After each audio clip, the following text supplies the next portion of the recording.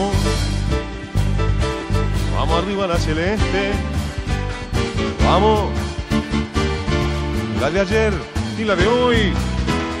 Vamos, los campeones de los pibes, los botines del 50, rock and roll y bandoneón.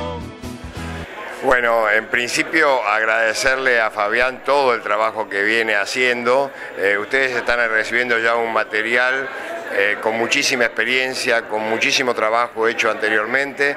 Recuerden que no hace muchos años atrás, 10, 15 años atrás, eh, por intuición se, enseñaba a los chicos, solamente por intuición. la mayoría de los instructores en todo el mundo decían, bueno, somos instructores de adultos, pero bueno, trasladamos eso un poquito a los chicos. Eh, pero esto no es así. Ahora, eh, a través de, este curso de chicos, tanto Fabián como el maestro Nardisi, estamos diciendo que hay un programa específico para chicos con idoneidad profesional, con trabajo, con experiencia, con investigación, que ustedes lo están viendo hoy. O sea que es espectacular el futuro que le estamos dando al taekwondo a través de los chicos, que a partir de los tres años nuestra próxima, nuestra próxima generación va a tener un taekwondo muchísimo, muchísimo más alto y mejor que el que nosotros pudimos darles hasta ahora. El curso me pareció maravilloso, bueno, es maravilloso que Uruguay ya tenga este tipo de emprendimientos. Claro, en lo que yo asistí eh, veo un progreso muy grande, o sea, especialmente por Fabián Izquierdo, el disertante, como que se ha sentado mucho, como que está trayendo ya otras, otros temas, como el manejo de distintos chicos, con distintos, eh, digamos, tratamientos especiales, algo que, digamos, no estaba contemplado en el programa original. Pero bueno, veo que este es el camino, veo toda la gente que se acercó, me parece maravilloso el hecho de que tengamos gente que tenga motivación como para desarrollarse más, para saber más, porque yo creo que este mundo que viene en el taekwondo es un mundo de competencia, es un mundo donde los mejores van a prevalecer.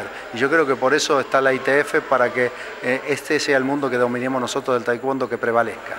El evento empezó cuando tuvimos la idea e imaginamos eh, que se podía hacer en Uruguay un evento de las características eh, del, ICAC, eh, un, evento que nosotros enmarcamos también dentro de nuestro desarrollo muy importante porque estamos trabajando en el área escolar y bueno, este, difundir lo que habíamos visto en el primer curso.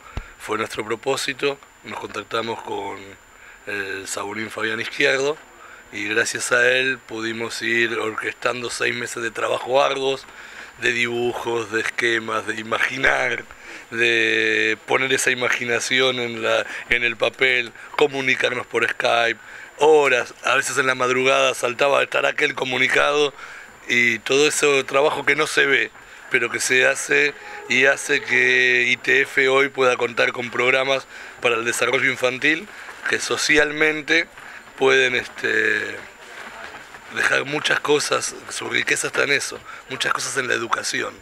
La idea fue convertirnos desde profesores de taekwondo a ser agentes de salud físico y mental para los chicos como educadores. Eso es lo que buscamos y creemos en este programa.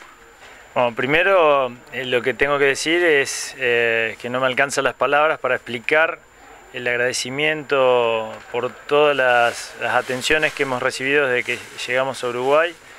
Eh, como dijo Gabriel hace un, rato, lo que se vio en dos días refleja el trabajo, espero que haya reflejado todo ese trabajo silencioso de los últimos seis meses de preparación.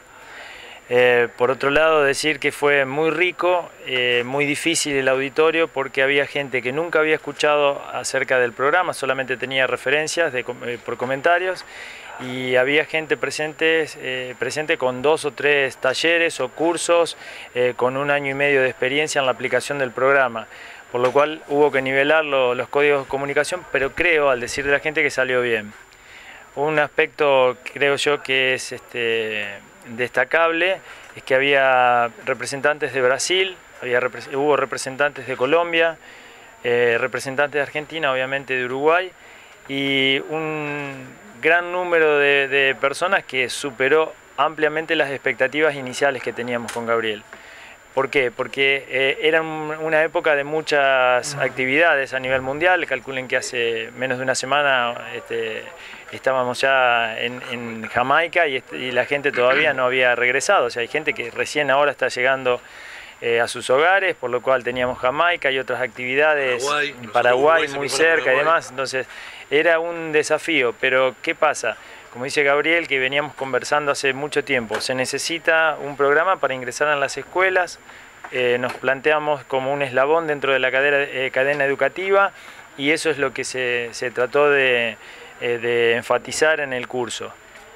como novedad dentro de lo que es la preparación teórica, digamos, y la exposición, quiero decir que en Uruguay fue la primera plaza en donde, donde agregamos, incorporamos contenido que no habíamos eh, eh, expresado, no habíamos compartido antes porque no lo teníamos compendiado y resumido como ahora. Eh, uno trata, sobre el trastorno de déficit de atención e hiperactividad. Hay un gran trabajo hecho por un maestro senior canadiense, psicólogo, especialista, y además de eso, padece el trastorno y su hijo padece el trastorno y compartió un trabajo, una experiencia con, niños con el trastorno de, de 20 años, digamos, ¿no? Y otro punto muy eh, celebrado por el auditorio fue el trabajo sobre el bullying. Eh, dos de los temas eh, muy en boga hoy en la sociedad en general y en el, dentro del sistema educativo en particular. Así que bueno, con ese, ese envión que le empezamos a dar a estos temas en cuanto al trabajo de prevención y cómo encaja el Taekwondo Kids, el programa de Taekwondo para el desarrollo infantil del de Taekwondo ITF, eh, yo creo que nos podemos sentir más que satisfechos. Ahora hay que eh, empezar a implementarlo, corregir y seguir trabajando. En principio agradecerle a los grandes maestros que hacen posible que nosotros podamos hacer el trabajo con su forma accesible y su forma de escuchar los planteos que nos permiten llevar nuestros desarrollos y adaptarlos a nuestras propias plazas y a nuestras propias condiciones que a veces no son fáciles en todos los países y quiero que se animen a seguir todos los países de Latinoamérica este paso porque va a generar profesores capacitados, instruidos y bueno, eso a, los GM, agradecerle a los grandes maestros y también este, a todos aquellos sponsors que confiaron en nosotros como 39, este, Acción Marcial y otras eh, instituciones que hicieron posible nuestro trabajo. Este, y, me este parece también que es eh, cabe destacar la amabilidad de la gente de, la, plaza acá, la Acción Cristiana de Jóvenes que nos ha cedido las instalaciones. Este, porque la verdad que en una charla con su secretario general el otro día dejó las puertas abiertas para nuevos talleres o nuevos trabajos, porque también socialmente ellos ven que esto puede, puede ser un aporte positivo.